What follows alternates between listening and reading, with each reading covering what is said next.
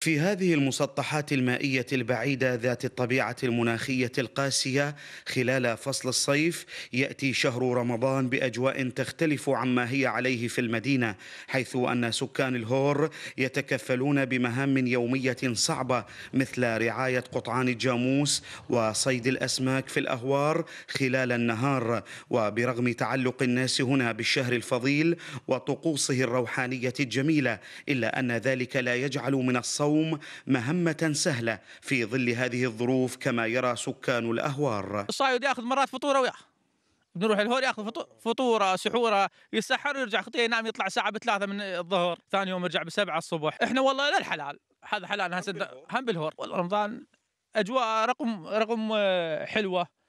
وهاي بس هالحر. حارة.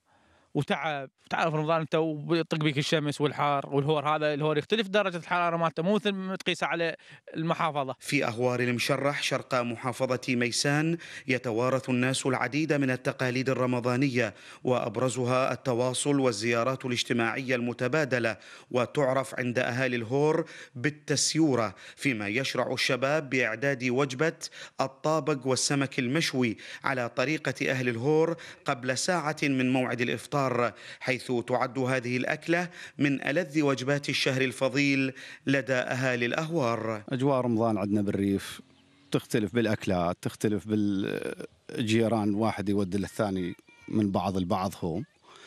آه، معناتها اكو اختلاف عن الولاية. والله اللي متميز به الهور هي هنا الماشي على الهور الطابق والسمك. وعند المساء توقد تنانير الطين ويرتفع دخانها وهي علامة على اقتراب موعد الإفطار الذي تعود قبله قطعان الجاموس من رحلة إطعامها اليومية في الأهوار.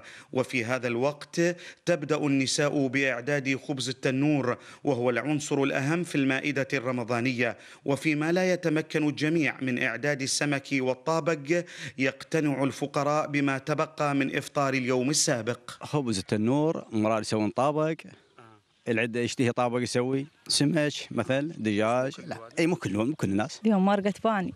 إي عليها لحم لو شنو؟ لا ما عليها لحم. ها. والله بس وياها خضرة هاي. إي.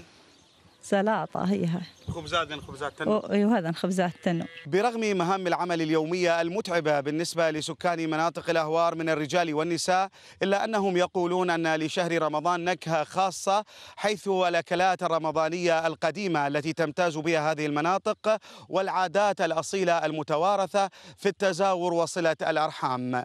من أهوار ناحية المشرح شرق محافظة ميسان أكرم ربيعي الحرة.